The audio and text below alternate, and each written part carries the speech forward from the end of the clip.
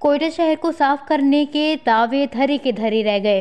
इंतजामिया और निजी कंपनी के दरमियान मामला तनाजे का शिकार। हुकूमत ने सफ़ाई का ठेका निजी कंपनी को देकर अपनी जान तो छुड़वा दी, मगर जराये के मुताबिक निजी कंपनी के अहदेदारों का कहना है कि मुकम्मल इख्तियार न मिलने पर काम शुरू करने में ताखीर हो रही है। कोटा शहर की आम शाहराओं पर कचरों के ढेर लग गए हैं। आवाम को मुश्किल का सामना करना पड़ रहा है। शहरियों का कहना है कि कचरों के ढेर से मुख्तलिफ़ किस्म की बीमारियाँ जन्म ले रही हैं, जो कि सेहत के लिए बहुत ही खतरनाक हैं।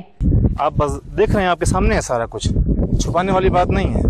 काम होता भी है सिर्फ़ उस हद तक, दिखाने की हद तक, कि सिर्फ़ सौ में से एक परसेंट, दो परसेंट काम कर लिया। बकाया सिलसिला सारा वैसे का वैसे।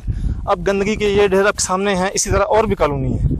आप बैक साइड चले जाएँ, और भी ऐसी गलियाँ हैं जहाँ पे कचरे के ढेर लगे हुए हैं। मेट्रोपोलिटन का अमला क्या आना है उसने? जब तक उसको फंड वो भी यही कहता है कि मुझे फंड नहीं मिलते हैं। फंड पास होते हैं, लेकिन वो कहाँ जाते हैं, ये अल्लाह जानता है। ठीक है ना? तो जिन मुलाजमिन को बरतरफ किया है ये साथ साथ नाइंसाफ़ी है उनके साथ। मौके नहीं देंगे वो, कैसे काम करें? ये कोई कम कचरा नहीं उठाने के लिए। लाजमी बात इसलिए गाड़ियाँ चाहिए होंगी पेट्रोल चाहिए होगा डीजल चाहिए होगा ड्राइवर चाहिए होंगे।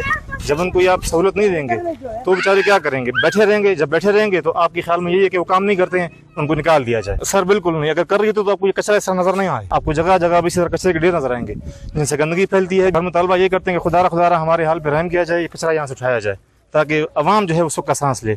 इसका इतना ताफन फैलता है इतनी इसकी बदबू आती है कि बंदा घर में भी नहीं बैठ सकता सहन में नहीं बैठ सकता। कई और अरसों से कचरे पड़े हुए हैं।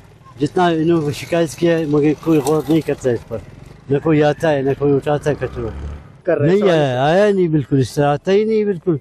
जितना भी कान से सुनता है जैसे निकालते हैं बस खाली पैसे जमा करने के पीछे क्या पैगाम दे? हुकूमत हो जो पैगाम दे कोई हुकूमत आई नहीं। हुकूमत को बचा जो गौर करता है सुनता है लोगों का। ये तो गरीबों को सुनता भी नहीं है लोग।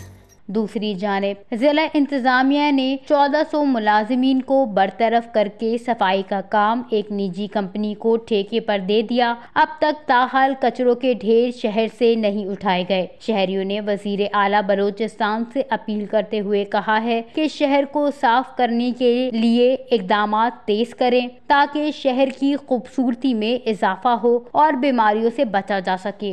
वश न्यूज़, कोयटा, बलूचिस्तान।